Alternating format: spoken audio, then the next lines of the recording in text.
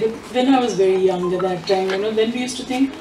ये लोग आके क्यों इनसे मिलते हैं you know because they come and ask for his autograph now and I used to ask him आप क्या लिखते हैं you know then he just laugh you know because at that time at that age about पाँच छः साल में तो it was not something which I could do but later on you know when uh, then it became कि हाँ ये now we knew about him फिर बॉम्बे जैसे शहर में बड़े हो के और आपको फ़िल्म इंडस्ट्री से कोई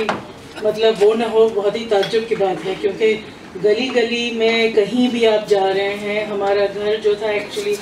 समंदर के बिल्कुल सामने था। तो it was an ideal situation for all the Hindi film songs and all that हम स्कूल से जब वापस आते थे, कोई ना कोई शूटिंग ज़रूर होती होती। है तो we was surrounded by that तो ये नामुमकिन चीज़ थी कि हमें एहसास ना होता। कि वो, लेकिन of course later on I used to feel very proud of the fact also that people can come up उनको खुद बहुत खुशी होती थी कि उनके फैंस आके उनसे मिलते हैं और जब and actually you see the thing was when I was growing up that was the time his career was on the तो it was he used to extra मतलब अप्रिशिएट करते थे वो कि लोग मुझे अभी तक पहचानते हैं, अभी तक पसंद करते हैं होता है। तो इसीलिए मुझे तो बहुत when Sahar put up this I mean I must mention it that uh, she has single mindedly or with such a lot of uh, जो जो एक जिद हो जाती है ना दिल में कि भाई ये चीज़ करना है मुझे। और बहुत सारे रुकावटें आई बहुत सारी लॉट ऑफ़ पीपल क्योंकि कुछ लोगों को ही होता है कि uh, एक एंथुजियाज्म है या कुछ है जो भी हो तो इसको इसमें कुछ ना कुछ रुकावट डाल दो या just for the heck of it they do it really happy has come around because of her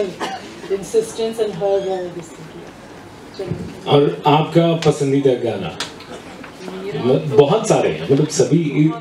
मेरे तो एक एक गाना उनका बिल्कुल दिल पे एकदम नक्शे तो बहुत to take out one song एक है मैं पागल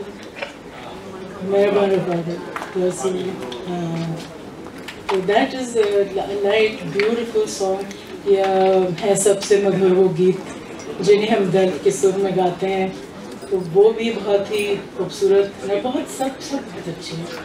वही मैं क्या जब I was sitting here and listening to songs and all it was like my whole life has gone through you know in all these बहुत खूबसूरत गाने हैं सब कोई ऐसा बस जो मैंने आपको बताया this comes to my mind. ये शाम जैसे आपने सोची थी वैसी है उससे बेहतर है। people can still come here and uh, attend to his and listen to his songs and appreciate. और uh, मेरे लिए तो एक, एक, एक पूरी लाइफ टाइम की जर्नी हो गई you know just going through the various songs and